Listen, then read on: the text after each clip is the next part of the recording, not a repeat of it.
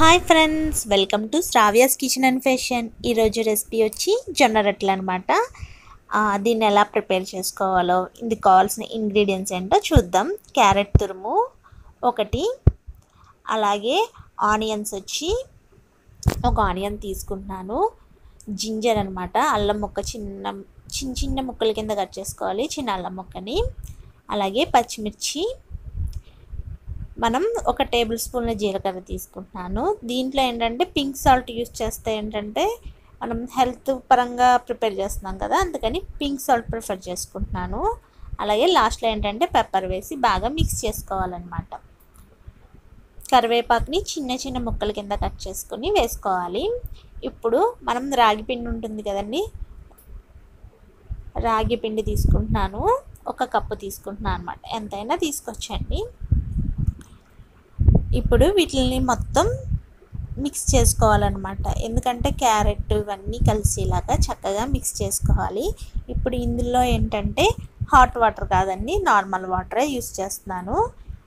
Normal water వేసుకుని చక్కగా చేత్తో ఏంటంటే మనం చపాతీ పిండికి ఎలాగైతే కలుపుకుంటామో అలాగా మిక్స్ చేసుకోవాలి. ఇవి జొన్న రొట్టెలు ఏంటంటే షుగర్ పేషెంట్లకి హెల్త్ పరంగా అయితే చాలా మంచిదండి. జొన్న రొట్టెలు తినడం వల్ల వెయిట్ లాస్ కూడా అవుతారు. దీన్ని రాగి పిండితో అయినా చేసుకోవచ్చు.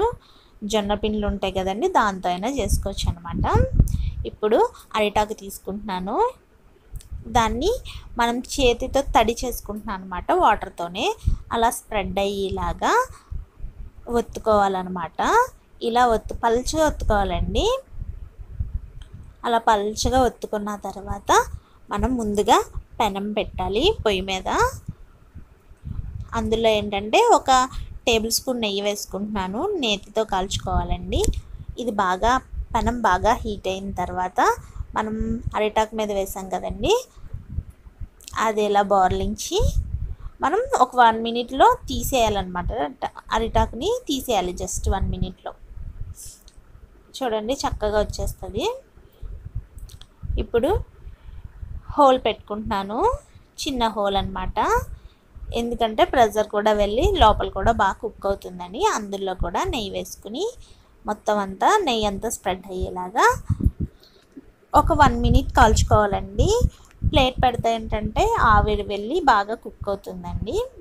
ఇప్పుడు నెక్స్ట్ నెక్స్ట్ వైపు కూడా కాల్చుకోవాలన్నమాట. మనం చూపించిన విధంగా. అంతే అండి చాలా సింపుల్ అనమాట మీరు కూడా అయితే ట్రై చేయండి. అలా రెండు సైడ్లు చక్కగా కాల్చుకోవాలన్నమాట. చూసారా? మళ్ళీ మూత పెడుతున్నాను. అదిగోండి రెడీ అయిపోయింది. చాలా ఈజీ అండి సింపుల్ కూడా.